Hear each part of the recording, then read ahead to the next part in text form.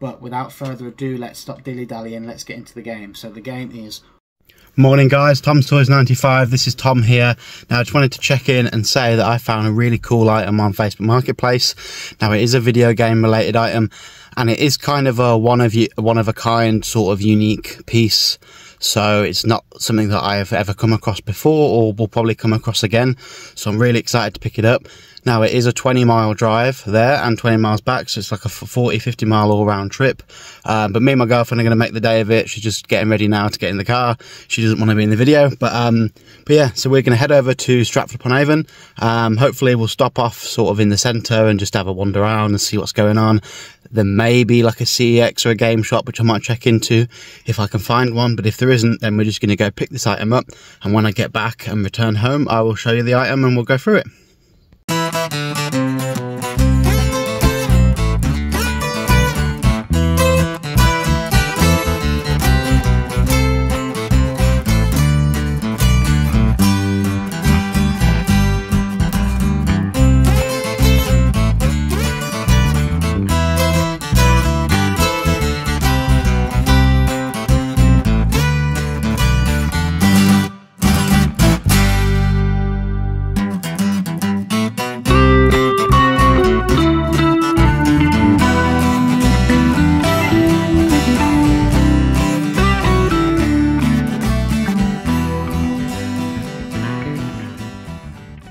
So we're just in TK Maxx now, having a quick look. Now we were planning on going into the centre of Stratford and going to the shops in there, but in the end we didn't. It was about a mile walk from where we parked, so we spent way too long in TK Maxx rummaging through the clearance section.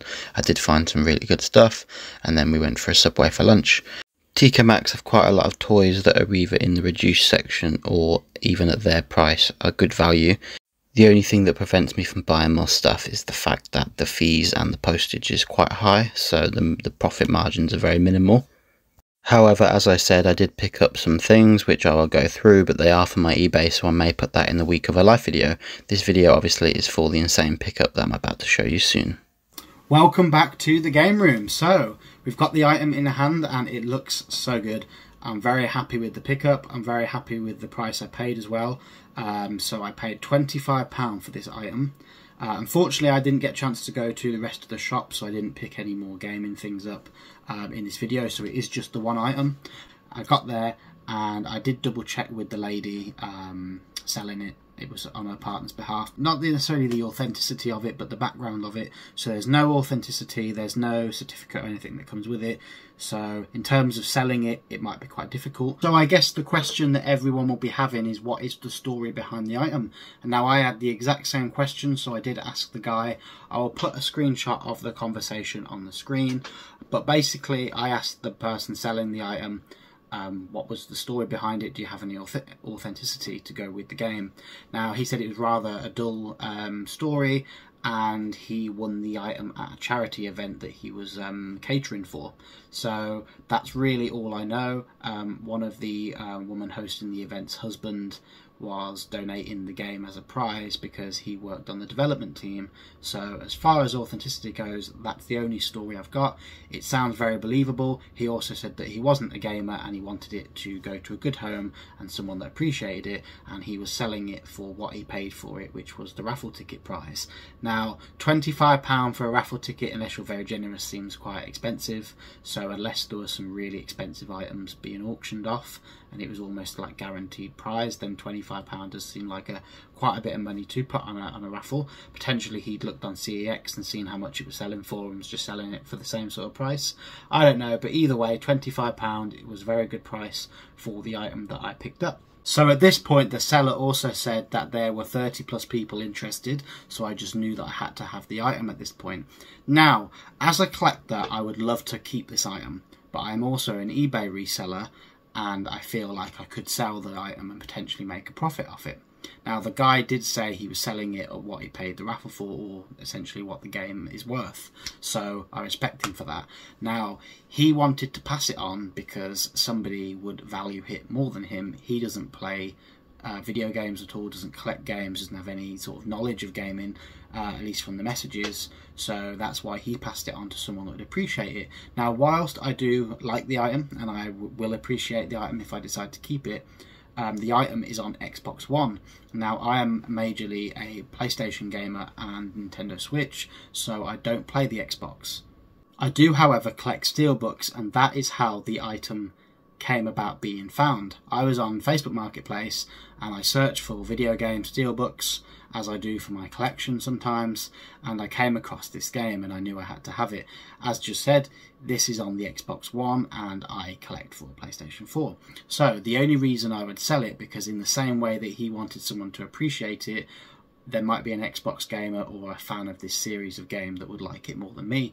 As a reseller, I can make profit on it and it is intriguing to me at that point just to see how much this could potentially be worth. If it only adds £10 worth of value, then I may decide to keep the item. Um, and you know, as a collector's piece, it's a good talking point for the game room. If someone was to come in and have a look at it, if I got any friends over, they can see the item, ask some questions, blah blah blah. Uh, however, it could be worth in excess of 50, 100, maybe even 200 pounds. Who knows? That's where you guys come into play and you know drop in the comments below what you would do with the item what you think the item's worth and you know whether it's worth selling or worth keeping for the collection so without further ado what is the item so um, it's a series of games that I've never played before. It's on the Xbox One and it is Forza 4 Horizon. Now, this is signed by the whole development team. So, as you can see from the messages beforehand, this was uh, from a charity auction and it was donated. So, if we just do a close-up here, you can see all of the signatures on there.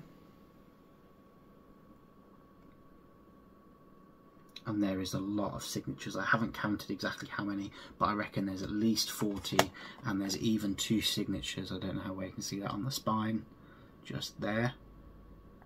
So, this is a beautiful, beautiful piece. There are some scratches to the steelbook, so it's not in mint condition. It's not perfect, but uh, inside we also have the disc so um, I may just resell the disc, sell that for £15, make most of my money back and keep the case, who knows, but um, let's let's see. But this is the game case, got all the signatures on there. I did try and make out some of the people because I don't play Forza, I don't play Xbox, so I don't know who any of these people are. When you get a video game signed, if it's a voice actor of a particular franchise, that can go for a lot of money, and they are very well known people, and in that sort of scene, um, people really want those sort of items. So when you go to places like Comic Con, you can pay upwards of £80 just to meet somebody to get a photo and then get them to sign your game. However, in this instance, this is the makers of the game. There's no real voice actors as such in this game. So it's kind of, who are these people? Is this a piece that people would want? Is this something that's in demand? Possibly not. It is a very niche item, but I'm sure there's plenty of Forza fans out there that would love this game, and that is why um, go, circling back to selling it is why I would potentially sell it because someone will love this way more than I will. So, in terms of authenticity, then, how can we tell if this is genuine? Well, we can't. There's no certificate, there's nothing to say it's genuine.